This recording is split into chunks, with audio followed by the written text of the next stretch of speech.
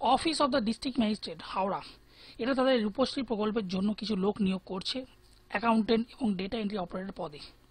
তো এটি last date হচ্ছে পনেরোই মার্চ দু এবং এই অ্যাপ্লিকেশনগুলো কিন্তু অনলাইনের মাধ্যমে শুধুমাত্র গ্রহণ করা হবে, অন্য কোনো মাধ্যমে কিন্তু নেওয়া হবে না। তো প্রথমেই পোস্টের নাম হচ্ছে অ্যাকাউন্টেন্ট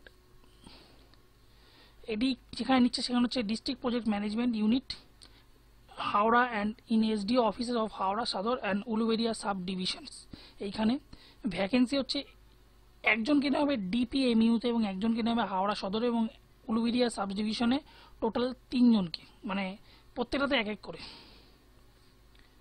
তো রিজার্ভেশন হচ্ছে একটি এসসি একটি আনরিজার্ভ এবং একটি আনরিজার্ভ এক্সেমটিভ ক্যাটাগরিতে বয়স হতে হবে আঠারো থেকে চল্লিশ বছরের মধ্যে। আপার এজ লিমিট হচ্ছে শেডিউল কাস্ট এবং শেডিউল ট্রাইবদের জন্য থাকবে। এবং এছাড়া যারা রিটায়ার্ড গভর্নমেন্ট এমপ্লয়ি তারা অ্যাপ্লাই করতে পারে ম্যাক্সিমাম যেন বয়স হয় চৌষট্টি বছর, তার উপরে কিন্তু অ্যাপ্লাই করলে পাবে না।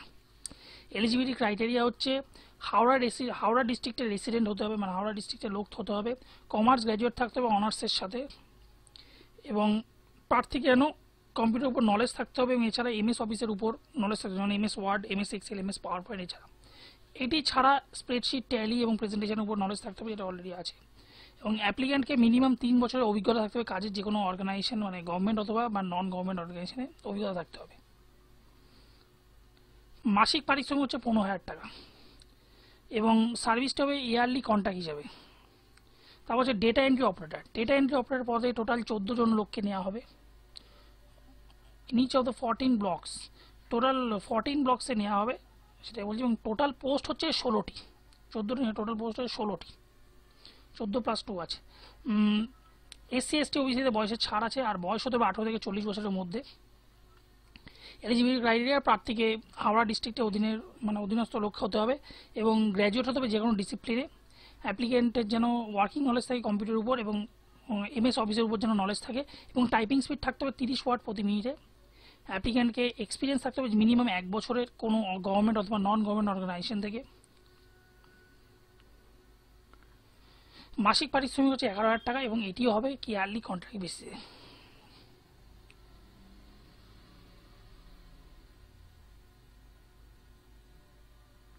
তো কীভাবে পরীক্ষা হবে? একশো মার্কসের পরীক্ষা হবে যেটা হচ্ছে টোটাল একশো মার্কস থাকবে। অ্যাকাউন্টেন্ট পদের ক্ষেত্রে বলছি প্রথমে কী হবে?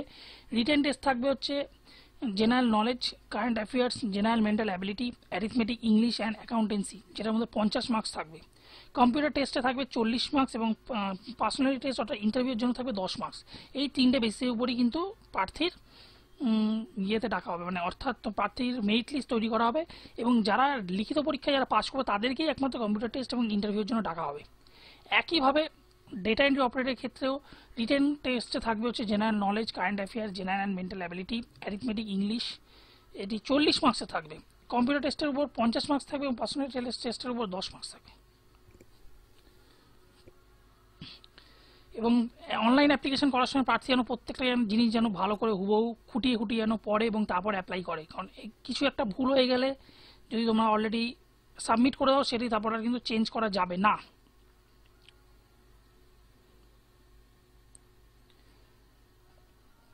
তোমার ডেট অফ বার্থ রেকর্ড করা হবে হয় অ্যাডমিট কার্ড থেকে অথবা সার্টিফিকেটের মাধ্যমে অথবা তোমার ইকুইভ্যালেন্ট যদি কিছু থাকে বা তোমার বার্থ সার্টিফিকেট কিছু থাকে, সেখান থেকে দেখেই কিন্তু মানে মেজার করা হবে।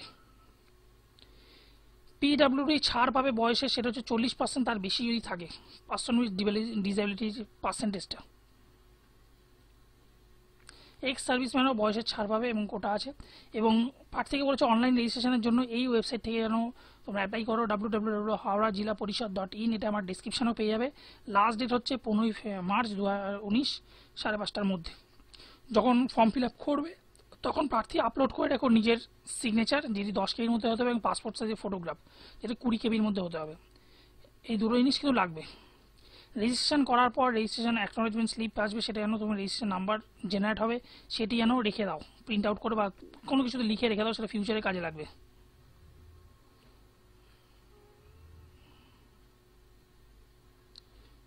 তো তাড়াতাড়ি তোমরা অ্যাপ্লাই করে দাও এবং এই ওয়েবসাইটটি যেন হুবো তোমার মাঝে মাঝে খোঁজ খোঁজ দেখো বা মাঝে মাঝে খুলে খুলে দেখো যে ওয়েবসাইটে নতুন কিছু নোটিফিকেশান বেরোলো কিনা। কারণ এই ওয়েবসাইটে কিছু যদি ফার্দার কোনো নোটিশ বা নোটিফিকেশন বেরোয় মানে অ্যাপ্লিকেশনের পরে, তখন কিন্তু ওখানে ওই ওয়েবসাইটের মাধ্যমেই জানানো হবে।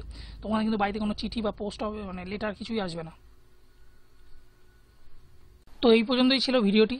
যদি ভিডিওটি ভালো লেগে থাকে লাইক করো সাবস্ক্রাইব করো, এবং শেয়ার করো নিজের বন্ধু বান্ধবীদের সাথে, এবং নিজের আত্মীয়দের সাথে, যাতে ভিডিও দিয়ে দেখে অনেকের সাহায্য হয়।